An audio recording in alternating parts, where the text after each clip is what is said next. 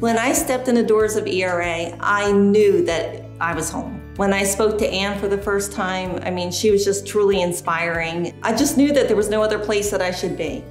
And then adding Stephanie and Scott, they're such great support system.